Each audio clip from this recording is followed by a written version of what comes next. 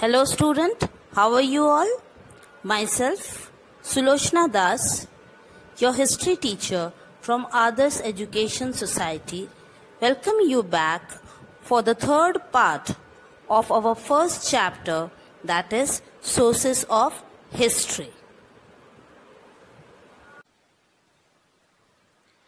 Now let, let us have a quick revise of what we have studied in the previous lecture.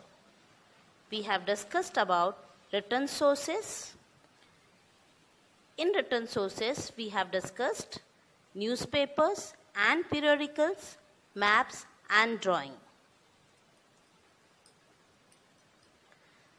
Students, you might have heard about the stories of great leaders from your parents and grandparents and on the birthday of great leaders like Shivaji Maharaj. You must have heard people singing povadas. Now, what are all these? Yes, my dear student, you all are right. It is oral sources which you have studied in the lower classes. Now, let us study about the oral sources of modern India. Oral sources means that everything that is not recorded or unwritten but passed on from generation to other generation means from one generation to other generation through just telling or by just singing them. Now let us have a study about what are included in the oral sources of modern Indian history. The following sources are included in the oral sources of modern Indian history. They are folk song, povada, interviews, narration, folk tale, fair, jalsa, art groups, rhythmic prose, it is also known as ovi, and inspirational song.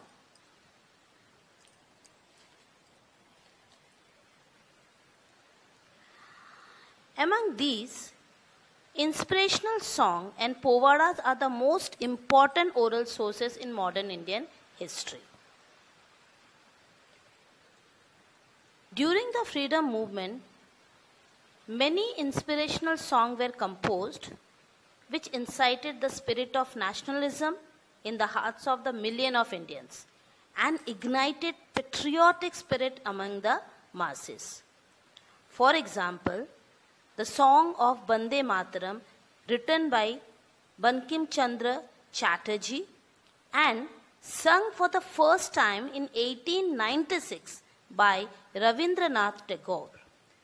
And these songs became the national war cry of the Indian against the mighty British. At present, some of these songs are available in written form but there are many other unpublished inspirational songs memorized by the freedom fighter. By this we mean that we don't have the record or written sources of many of these songs or which were actually sung by the freedom fighter during the freedom struggle.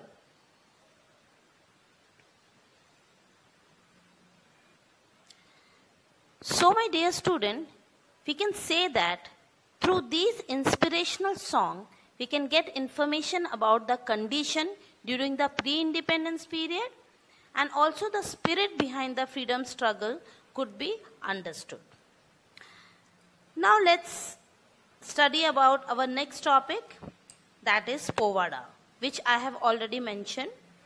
Now Povada is a type of Marathi poetry that emerged during the late 17th century in India.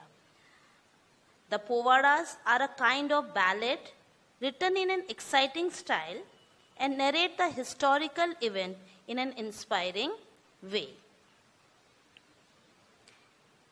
It is a source for getting information about a historical events or the work of a person, like the Povadas composed on the freedom struggle of 1857 or on the valor or bravery of the various revolutionaries like Umaji Nayak, Chapekar brother. You can see, see the photos in the screen.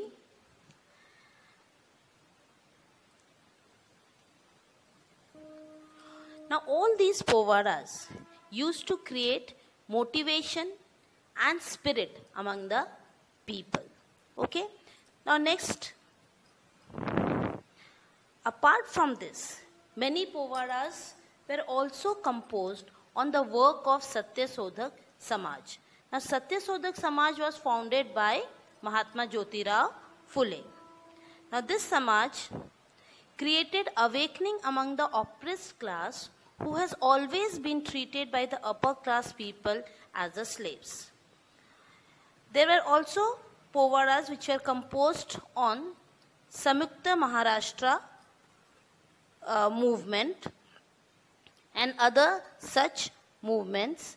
Now, Samyukta Maharashtra movement uh, in Maharashtra was started um, for the state of Marathi speaking people. Uh, they demanded a separate state of Marathis, and that is why the Samyukta Maharashtra movement was started from 1946 onward, that is after the independence, means after India gained independence. Now next uh, we will discuss about the video, audio and audio visual sources. During the modern period, due to the development of technology, there was a development in the arts of photography, recording, films, etc. Obviously, these photographs, records, or film can be used as a sources of history. So let's discuss about the photograph first. Now photographs are the visual sources of modern Indian history. With the discovery of the art of photography, photographs of various uh, persons, events, objects, structure, places were clicked. Through these photographs, we get information about the person or an event in a visual format. But in case of medieval period, there are paintings available that depict the physical feature of a person or visual description of a particular event. But the authenticity of these paintings is doubtful. But when we compare this with the photograph, photographs are considered to be more reliable. The photographs of a person gives us information about the physical features, dressing style, etc. So we can say that photograph of an event give a visual image of an event, whereas photograph of an object or a structure helps in understanding its nature. Hence, we can say that photographs are important sources of history as they are more reliable than painting. Now we move on to our next topic that is recording. The discovery of technique of recording was also an important as photography. Recording is a form of audio source of history. During the modern period, the speeches of great personalities, songs, etc. are available in the form of recording. This recording can be used as an important source of history. For example, the national anthem, that is Janaganamana, sung by Ravindranath Tagore himself. Ravindranath Tagore sung Janaganamana for the first time at the Calcutta session of the Congress in 1911. Let's hear the song.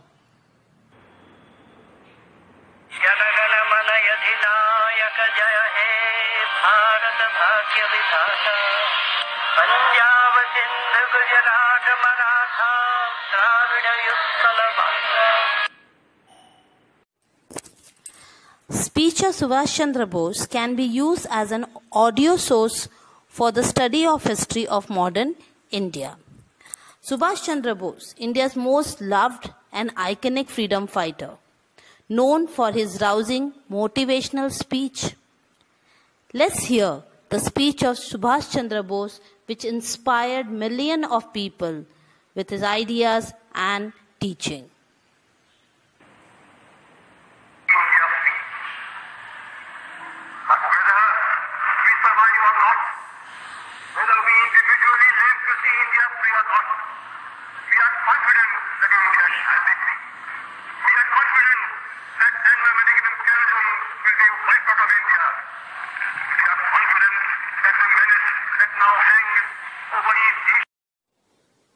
Our next topic is films.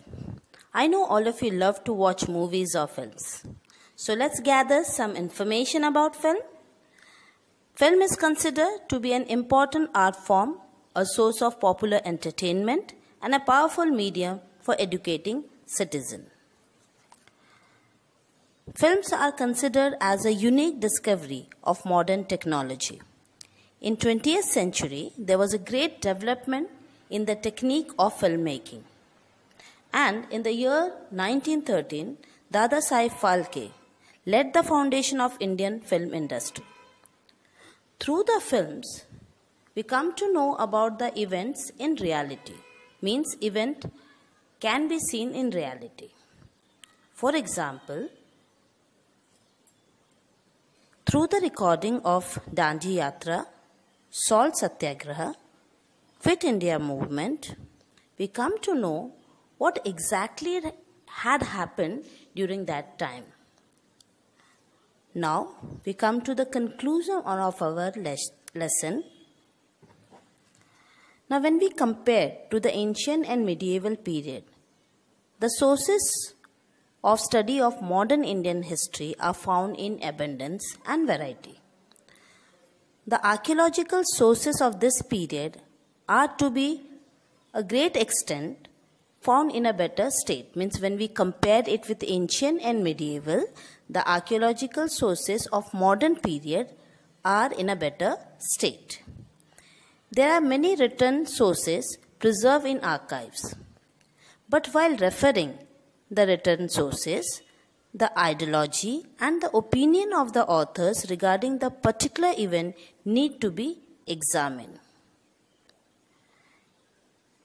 There is a great need of preserving these historical sources through which the rich tradition of history can be handed over to the next generation. It means that it is our duty to actually preserve these historical sources. It is the duty of every citizen that they should preserve the historical sources so that we can hand it over to our next generation what we can hand it over to next generation means here means we can hand it over them the rich tradition that we ha have. The next generation will come to know how much rich tradition we are having. So student we come to the end of this lesson. I hope you understood the lesson. Thank you and bye